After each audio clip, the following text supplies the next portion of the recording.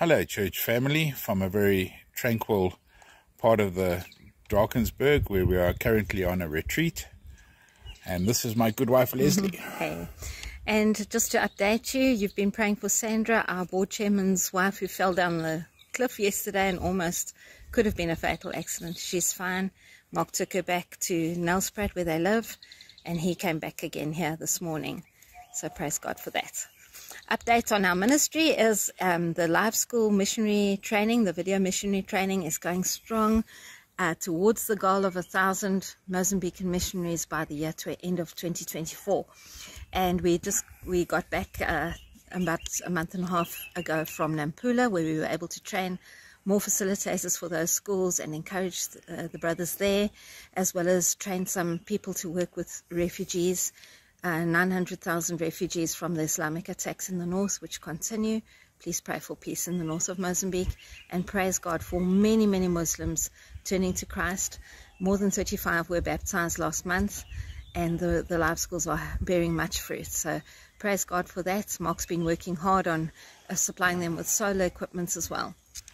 Uh, part of the live school course is uh, farming God's way, and we've been studying it up ourselves and trying to put it into practice so that we're mm-hmm. not just uh, telling people what to do, but trying to show them what to do as well. So we've had an interesting couple of months before the course preparing uh, the essentials, things like compost and things like that. So we recently ran a course of Farming God's Way for some of the live school students, and it was a real blessing just to see people uh, coming to understand that what you reap, you sow, not just in the ground, but also in our spiritual lives.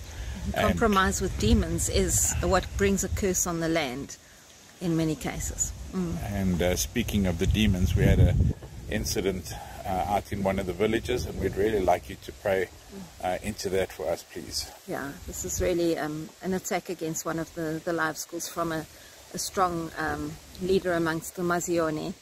Um, praise the Lord, what the devil intended for a great disruption, God turned to great good. All seven of her children came to Christ.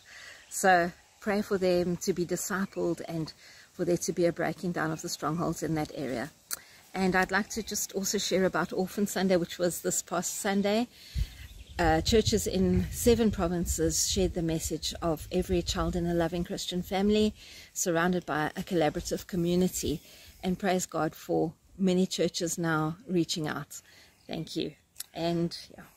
I just want to share with you also, while we've been on this retreat, uh, one of the things that strongly come out uh, in we've each one of us as provision staff have been able to share devotion and just really being uh, about devotion to God and not about duty.